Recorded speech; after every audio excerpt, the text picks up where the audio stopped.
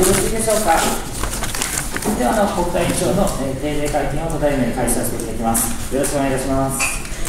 えー、皆さんお疲れ様です。お集まりいただきましてありがとうございます。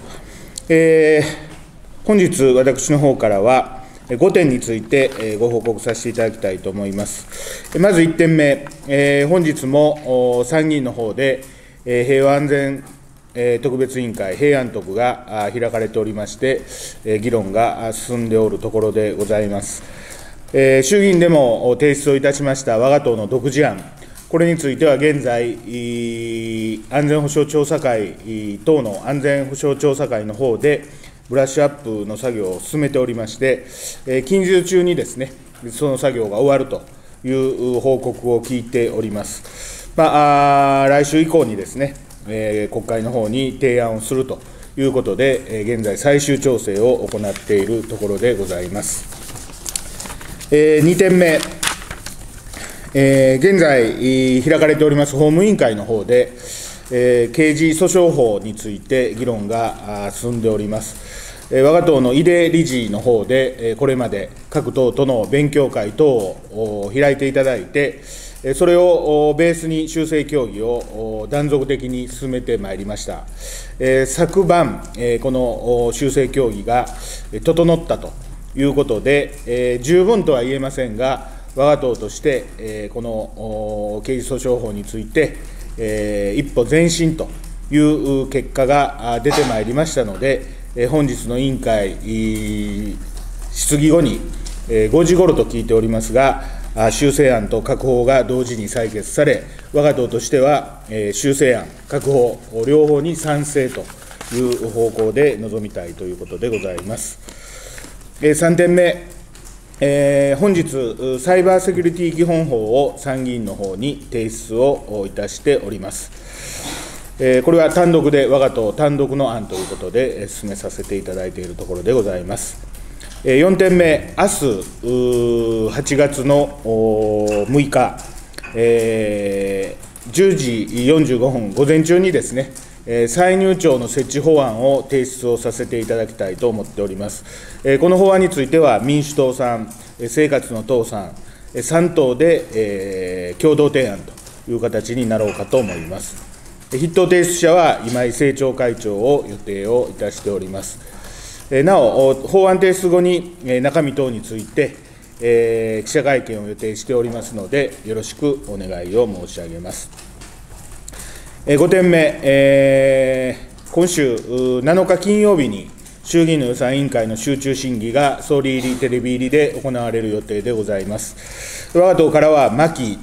代議士、そして木内代議士が質問に立ちます。続いて週明け10日月曜日、参議院の方でも予算委員会の集中審議が行われる予定でございますが、えー、ここちらは川田参議院議員に質問に立っていただく予定でございます。質問の用紙など中身については、でき次第マスコミの皆様方にもご報告をさせていただく予定でございます。まあ、あの両日とも、えー、総理の日程等で、審議時間が4時間程度しか確保できないと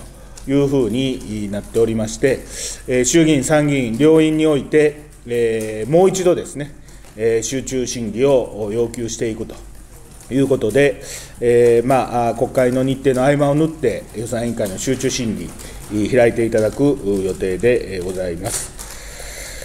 えー、まあえー、今週はそのような予定でございますが、まあ、あの来週以降ですね、えー、10日に参議院の予算委員会の集中審議が行われて、えー、参議院の厚労等は開かれる予定だそうでございますが、衆参ともに委員会等の開催予定がございません。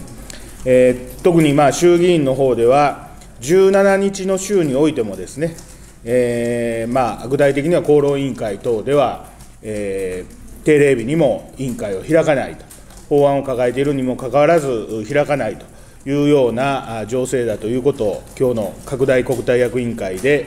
えー、報告を受けました。まあ、あの一般論としてですね、えー、国会の延長を9月の27日まで行っているわけでございますので、えー、この2週間について、全く国会を動かさないということであれば、私は非常に国民の皆様方に対して申し訳ないんではないかなというふうに思っております。まあ、あのそれだけ休む余裕があるんであれば、9月の27日から2週間繰り上げてですね、国会を閉会すればいいわけでございますし、まあ、我々、えー、サラリーマンでも、学生でもありませんので、えー、お盆やから盆休みを取るというようなことで、えー、この大変重要な、えー、安全保障の問題、また TPP、原発再稼働問題、また戦後の70周年談話等、非常に国民が関心を持って注目している案件があるにもかかわらず、こういう、まあ、国会の慣例に基づいて、前例に基づいてお盆休みを取るということについては、我が党としては承服ができませんので、各機会を通じて、各委員会の理事会等を通じて、強く、まあ、議論するように求めていきたいと、これはあの各委員会、徹底していただくように、私の方から各理事に申し上げました。え、特に厚労は、あこれまで、え、衆議院での安保法制の採決以来ですね、えー、いろんな法案について、えー、与党側と野党筆頭である民主党側が、我が党に相談もなくですね、えー、審議日程をどんどんと決めて、採決をしていくと。これまでそういう運びに約1か月間続いてまいりました。えー、それだけ、えー、どんどんと審議を進めていたにもかかわらず、このお盆の時期になると、急にお休みと、えー、厚労においては17日の週も休むということが、もうすでに内定をしているような状態だそうでございまして、その次の週からでないと委員会を開かないと。いうことを公然とまあおっしゃっている方がいらっしゃるそうですので、まあ、そういうことには大変疑問を感じますし、国民の皆様方にどういう思いを持たれるのか、国会議員自らがやはり襟を正して、国会で、えー、激しい、そして厳しい議論をやっていくべきだというふうに考えております。えー、本日は私の方からは以上でございます。それでは質疑応答とさせていただきます。え挙手の上所属を名前を挙げてからご発言いただきますようご協力お願い申し上げます。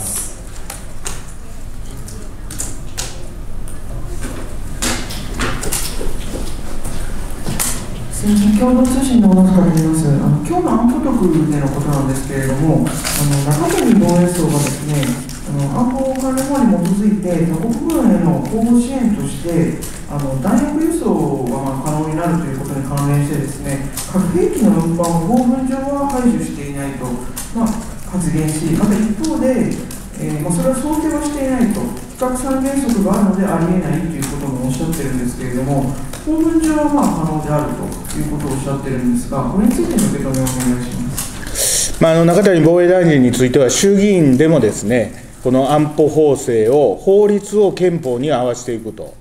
おあいや、すみません、憲法をおそうですね、法律を憲法に合わせていくという発言をなされておりまして、えー、やはりですね、少し答弁に、まあ、荒いといいますか、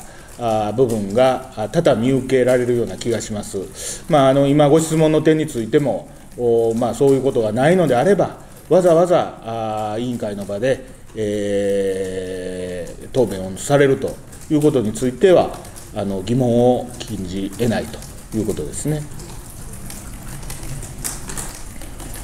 その他ご質問ございますか？先ほどあれですね、憲法を法律に合わせていくということですね。すみません。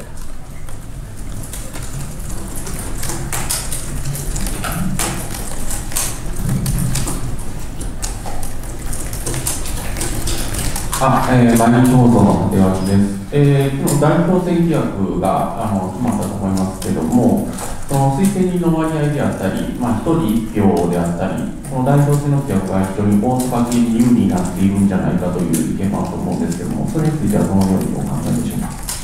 まあ、あのよくその維新の党の中ではですね、えー、まあ大阪の勢力が大きいと、まあ、いろんな意味において大阪はいいよねというようなあことを思われている場面があるんじゃないかなというふうに思います。まあ、我々はですね、えー、大阪出身の私としては、やはりこの7年間、えー、必死の思いで、この同志を増やすとか、党員を増やすということを行ってまいりました。まあ、その結果、あこの大阪での議員の数、地方議員の数について、えー、一定の勢力を持たさせていただいているわけであります。まあ、一方あの、大阪以外の地域を見ますと、えーまあ、国会議員が全くいない地域もありますし、国会議員がいてもですね、地方議員がほとんどいないとか、あ党員があほとんど存在しないとか、まあ、そういうような地域もあるわけなんですね。で、えー、まあ、こういう代表選挙の機会を通じて、私はあの地方での、それぞれの地域での統制の拡大というものに、まあ、努めていただきたい、それが、まあ、あ今回の代表選挙の一つの主たる目的であるというふうに思いますので、まあ、あの所属議員それぞれですね、そういうことを肝に銘じていただいて、代表選挙を通じて統制拡大をするんだということで、頑張っていけば、切磋琢磨していけば、より大きなまあ勢力になっていくんじゃないかなと、そういうふうに考えています有利と指摘されていることについては、いかがでしょうか？それはまあ歴史が違いますんでね、仕方がないんじゃないですかね。そんなご質問ございますか？そしたら、こちら、えー、反応しまして、会長の試着会見を終了させていただきます。ありがとうございました。はい、ありがとうございました。